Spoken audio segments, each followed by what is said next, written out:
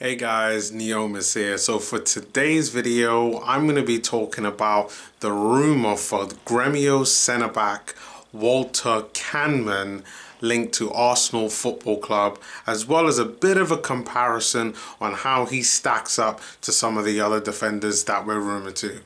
Stay tuned.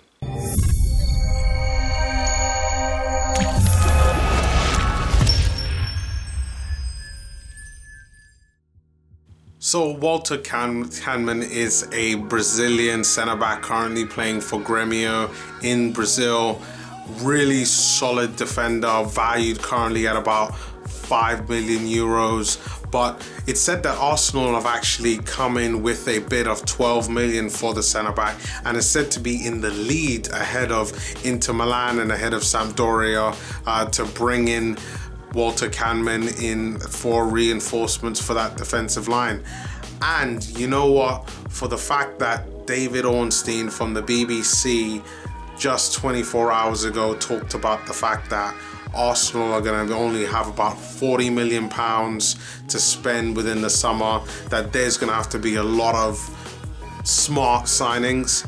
This seems as a smart, logical signing really good quality player for a good value of money. So that's why part of the reason why I think this is a relatively a good good deal for Arsenal. My concern with Walter Kannemann is that he's played the majority of his career in to be honest in a bit of the lower leagues I, I guess he's never really made it to the big times uh, and you know for an Argentinian player Latin player, South American player, call it what you want.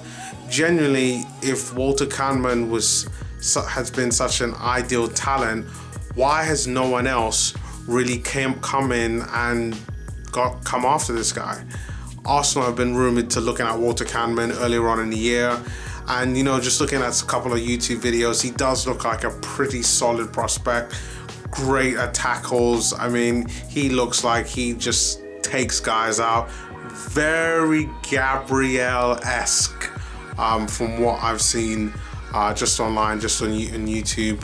Uh, he's about six foot two, so you know he could bring a bit of aerial threat uh, to the Arsenal uh, back line. Could he fit into how the way how we defend? Yes, he seems to be more of that attacking centre back type that likes to bomb forward and sometimes create other additional chances similar to the ways how we've seen Sokratis do at times and, and how Koscielny does as well. But if we're really looking to really do a comparison on Walter Kannemann, does he really fit the bill for what Arsenal need? We've got been rumoured to the likes of Djene Dakonam. We've been rumoured to the likes of Kurt Zouma.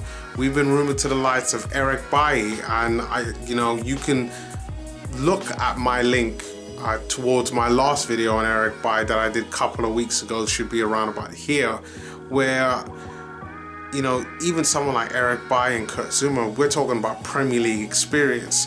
Even someone like Djene Dakonam, you know, he's currently playing in La Liga, one of the top leagues in the world. Uh, and is doing a pretty good job there at a relatively at a high level and almost the same level as Arsenal to, for me to be perfectly honest. But when you look at a Walter Kannemann, I mean, like, I want to believe that this guy could do well. I want to believe that he's the answer to our defensive problems. But to really be honest, I have no idea. Uh, Walter Kannemann just has not been tested at all. And that's my biggest worry about this guy. But for a player that we could get in for 12 million, I'm hoping that this is one of these signings that possibly Edu had a part to do with it. Maybe it was a recommendation from him, especially with the South American links. Uh, and with Edu currently being part of the whole Brazil setup and youth around there. Um, he probably knows Walter Kannemann, you know, even though he's Argentinian, by just generally watching games uh, going on in Brazil right now. So, um, guys, let me know what you think of Walter Kannemann uh, on what these rumors of starting about him. Do you think that he's a solution to our problems, or should we be going for more high-end quality defenders in order to help Arsenal out.